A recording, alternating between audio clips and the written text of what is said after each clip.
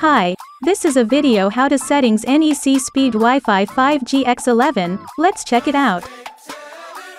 Warning. On the communication mode menu, select standard, don't choose plus area, because if you choose plus area you will be charged an additional fee of 1000 yen.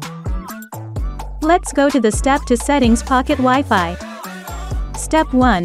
Open your pocket Wi-Fi, tap information, and tap Wi-Fi. On this menu we can know what is the SSID and password on this pocket Wi-Fi.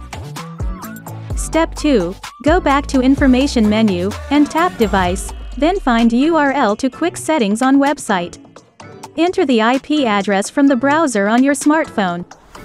This is the password for enter the website settings.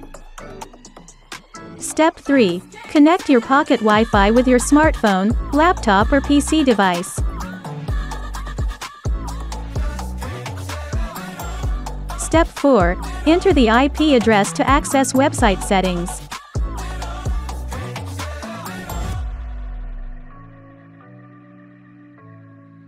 After enter the website settings, skip initial settings for administrator, then change the SSID and password.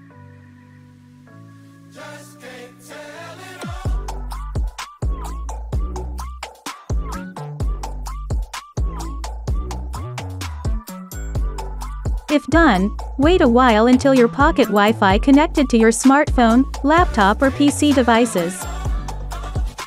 Step 5. Make sure the SSID and password have changed on pocket Wi-Fi.